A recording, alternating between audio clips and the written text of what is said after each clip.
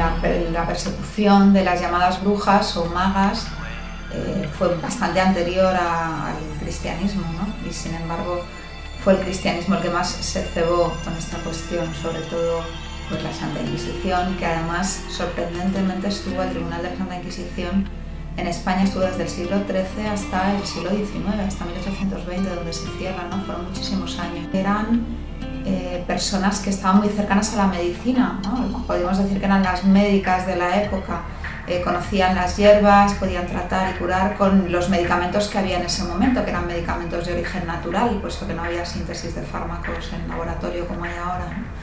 Entonces eran las comadronas, eran las curanderas, eh, esas eran las que eran acusadas de brujería, por supuesto con supercherías varias, ¿no? como que se comían a los niños. Además esto es muy curioso desde el punto de vista del psicoanálisis, ¿no?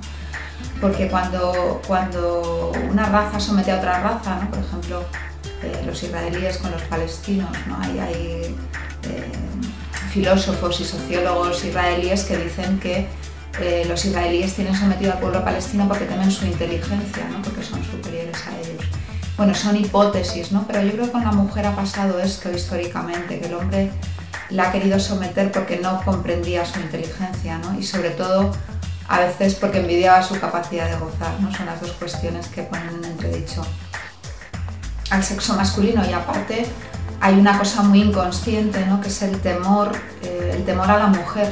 A la mujer se la teme y por eso se la somete también la mujer está siempre quizá más cerca de, las, eh, de lo marginal o de lo extracientífico a veces, ¿no? de, los bordes ¿no? de, la, cultura convencional y de la ciencia convencional, eh, tiene mucha capacidad de invención.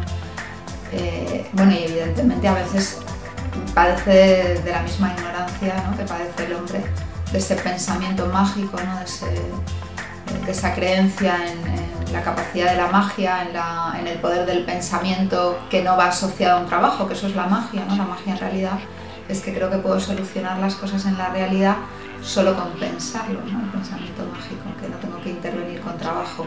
Pero sí que es verdad también, ¿no? Tenemos que decir que la mujer a veces tiene tendencia a ahorrarse el trabajo de modificar la realidad, ¿no? El trabajo es una cosa que ha sido preponderantemente masculina, desgraciadamente, aunque por supuesto ha habido muchas mujeres en la historia trabajadoras, eh, pero también es verdad que tenemos una tendencia a caer en el pensamiento mágico. Hay toda una corriente, pues la corriente religiosa, ¿no? donde ella se va del pecado, ¿no? ella es la que incitó al pecado, al hombre, eh, curiosamente, ¿no? porque eh, contradictoriamente histórica, la historia siempre ha negado el deseo femenino, ella no deseaba eh, y sin embargo después era la incitadora del deseo de él, ¿no? era la que le incitaba al pecado, muerde la manzana. ¿no? El deseo es una cosa de dos, evidentemente, y no hay nadie que incite a otro, simplemente se produce. ¿no? El deseo no hay, porque si no es negar el deseo de uno de los dos de la pareja. ¿no? Si, si digo que el otro me ha incitado, entonces ¿qué pasa? Que yo no deseo. Es cierto que hay una representación de la bruja como fea, con la verruga en la nariz, ¿no? Eh, eh, un sujeto desagradable, además que se come a los niños, ¿no? algo monstruoso, que lo de que se come a los niños es una fantasía masculina de devoración con respecto a la madre. ¿no? Cuando acusaban a las brujas de comerse a los niños, en realidad es el temor que eh, el niño tiene frente a la madre de ser devorado, ¿no? es un momento de la constitución del niño.